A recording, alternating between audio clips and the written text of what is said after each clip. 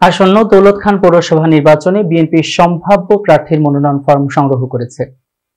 আমাদের ভোলা প্রতিনিধি কাজী জামাল জানান, আজ চব্বিশ ডিসেম্বর সকাল এগারোটায় দৌলত খান পৌরসভার রিটার্নিং কর্মকর্তাদের কার্যালয়ে দৌলতখানা উপজেলা ও পৌর বিএনপির নেতাকর্মীরা উৎসব মুখর পরিবেশে তাদের দলীয় মেয়র প্রার্থী আনোয়ার হোসেন কাকনের পক্ষে মনোনয়ন ফর্ম সংগ্রহ করেছেন।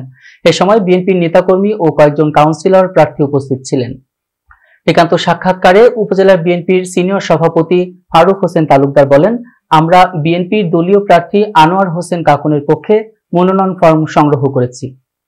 অবাধ ও সুষ্ঠু নিরপেক্ষ নির্বাচন হলে আমাদের প্রার্থী বিপুল ভোটে জয়লাভ করবে ইনশাল্লাহ দৌলত খানে এখন পর্যন্ত কাউন্সিলর পদে চোদ্দ, সংরক্ষিত পাঁচ ও মেয়র পদে একজন নমিনেশন ফর্ম সংগ্রহ করেছেন বলে জানান উপজেলা রিটার্নিং কর্মকর্তা খালেদা খানম।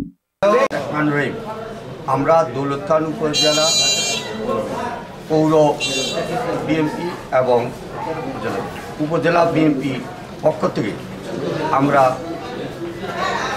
উপজেলা বিএনপি এবং পৌর রহমানের আমরা দৌলত খান পৌর বিএনপি এবং উপজেলা বিএনপির পক্ষ থেকে বাংলাদেশ জাতীয় জাতীয় বিএনপির মনোনীত প্রার্থী আনোয়ার হোসেন কাকনের মনোনয়নপত্র মেয়র হিসাবে মনোনয়নপত্র গ্রহণ করলাম।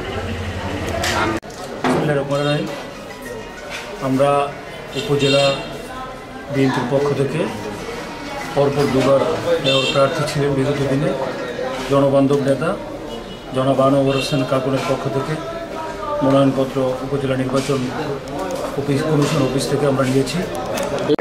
আমি পৌরসভার আট নম্বর থেকে কাউন্সিলর সংগ্রহ